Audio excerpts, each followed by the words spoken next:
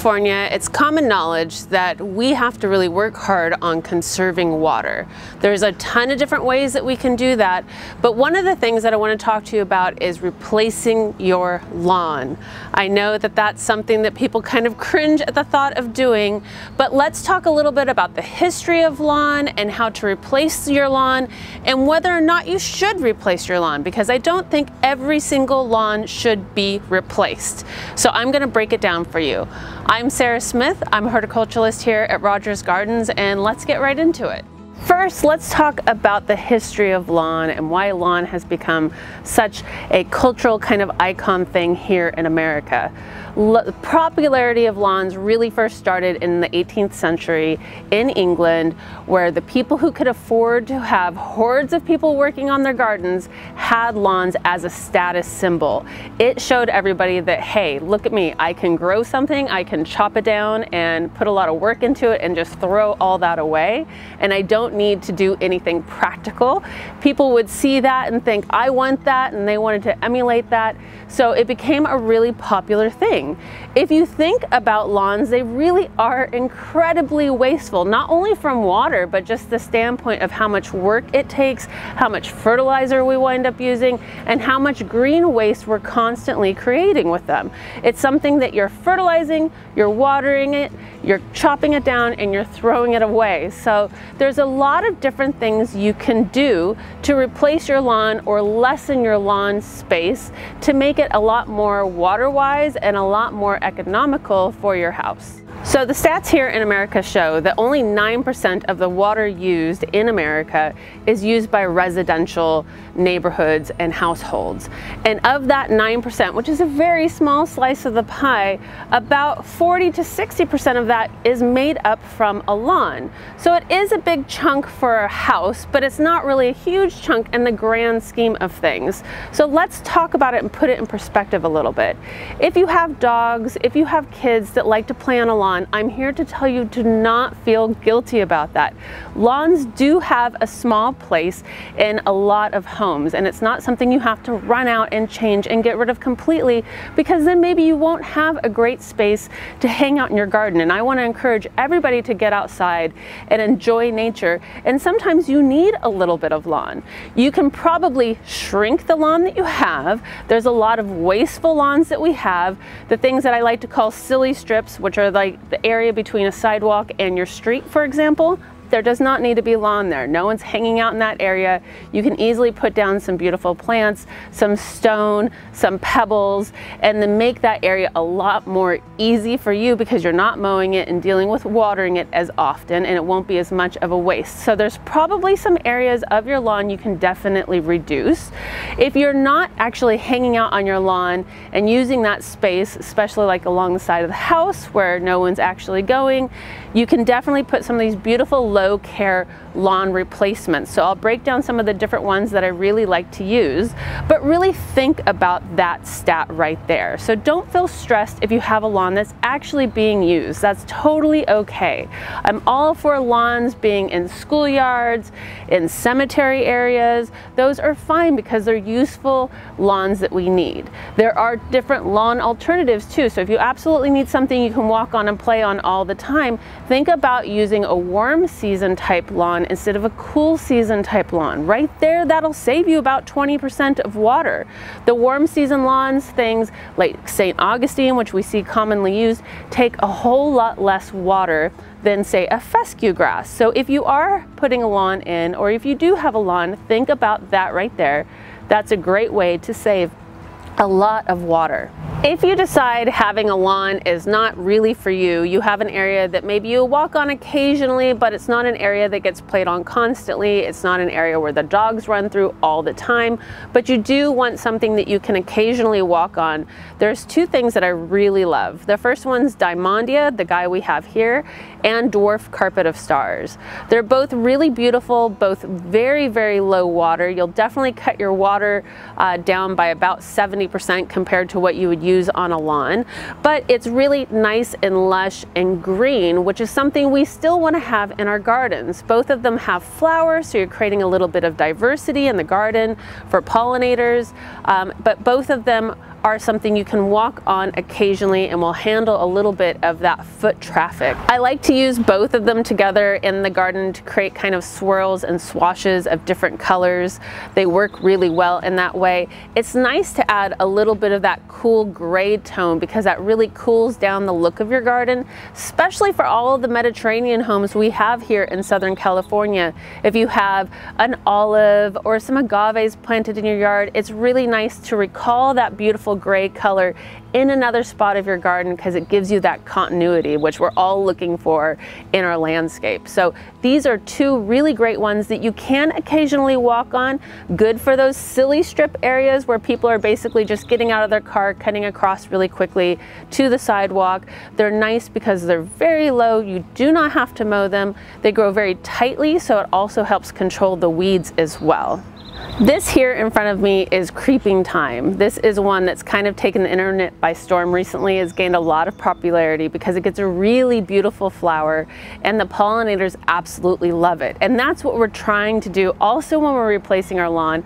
It's not just about water saving, but it's also about creating more diversity in your garden so we can support all the pollinators, the butterflies, the bees. So what we're trying to do in our gardens is not only save water, but create more diversity in the garden. So there's more things for all the pollinators to actually be attracted to.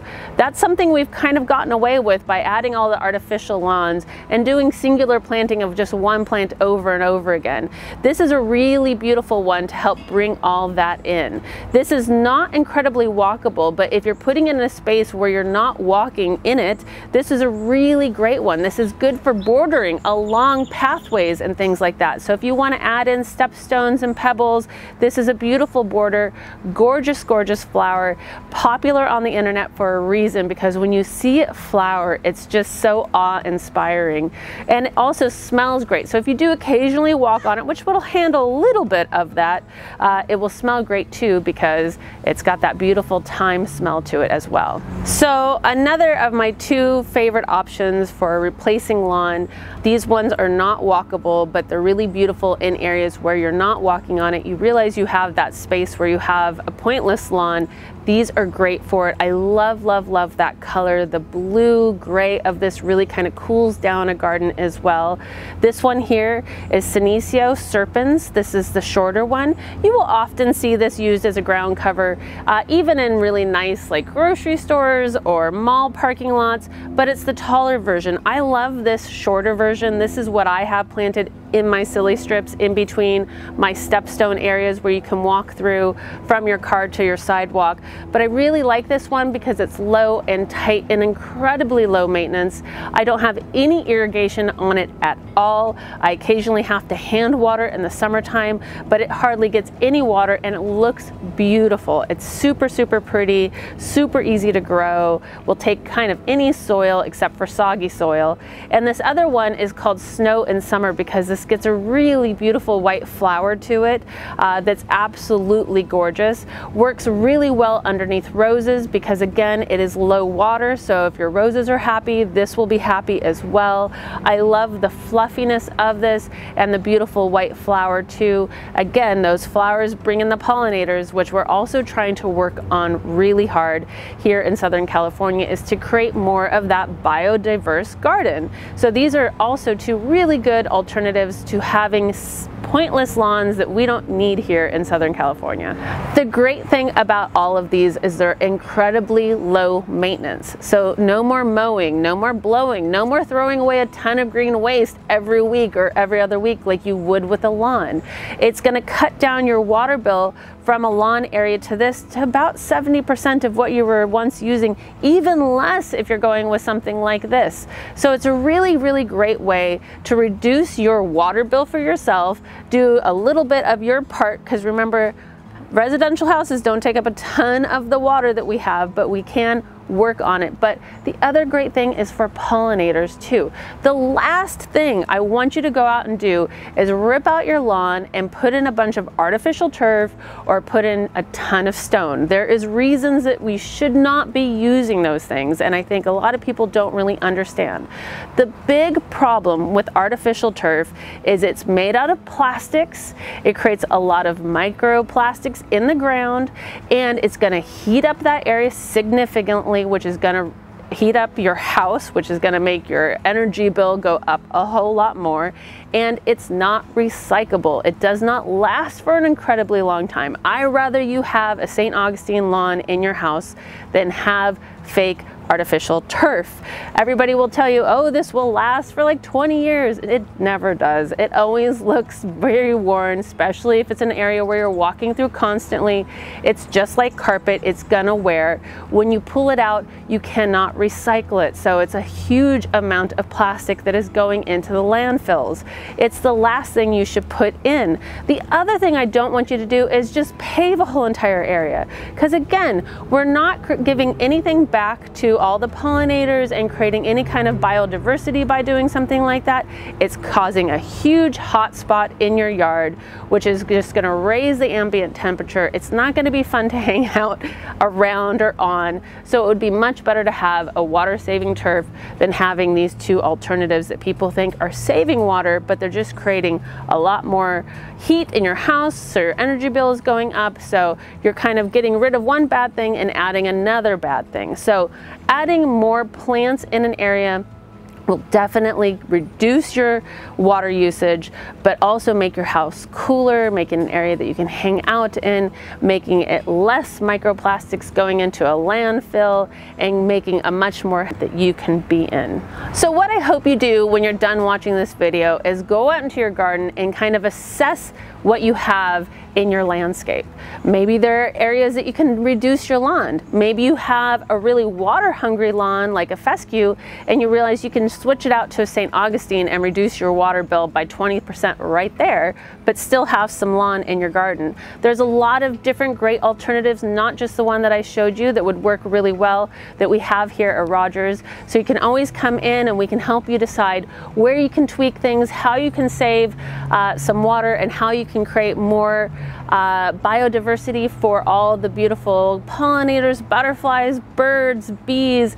Bring all that life into your garden and make your garden an area you really enjoy hanging out in and being in and creating something healthy for the animals and for you as well. Thank you so much for tuning in to watch this video. I hope this helps you out. Make sure you go check out our Instagram and our Facebook page. We have all kinds of great content there. You'll know what's going on here in the garden, what kind of fun programs and events that we're having, which are happening all the time here. You'll find out when the new plants come in, what we've got, and the things that sell out real fast you'll know about before anybody else. We also have a really great email list that you can put your name on on our website that shows shows all kinds of great content, all kinds of things that we have not only going on here at Rogers, but at the farmhouse as well. So you'll be up to date on what's going on here at Rogers. Thank you so much. Be well, be safe, and happy gardening. Bye.